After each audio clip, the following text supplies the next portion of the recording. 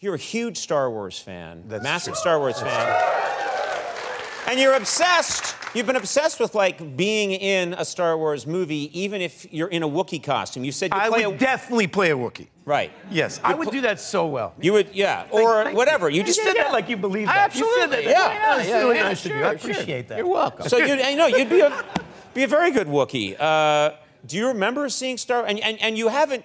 First I've of all, never been in one. No, and and the truth is, it, it, at first it's okay because there weren't very many of them. Right. But now there's a lot of them, and I still haven't been in one. You know? Yeah. What, no, what, the more of them they make, right. the more insulting it is. That I you're feel left that out. way. Right. Yeah, yeah, I feel that way. Star Wars 109, and it's not. It's not like it's a secret that you want to do it. Yeah. I've said yeah. it on national TV over and over again. Yeah, yeah. I will audition. I'll play Wookiees. I'll play Jedi's. I'll play bad guys.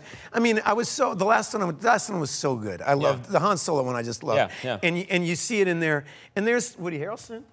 He's in Planet of the Apes. He's in Star Wars. He's got like every job. Yeah. So wait, your your attitude is if Woody Harrelson can do it, I can do it.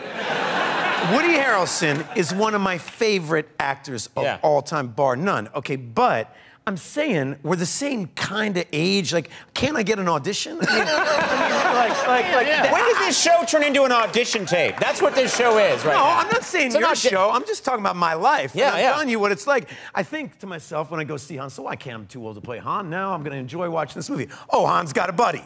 Woody Harrelson. And it, I don't get to go on. I mean, nobody thinks that maybe... I think the word's out that you said no to Independence Day. Yeah. I think the word is out. Like I deserve forgiveness.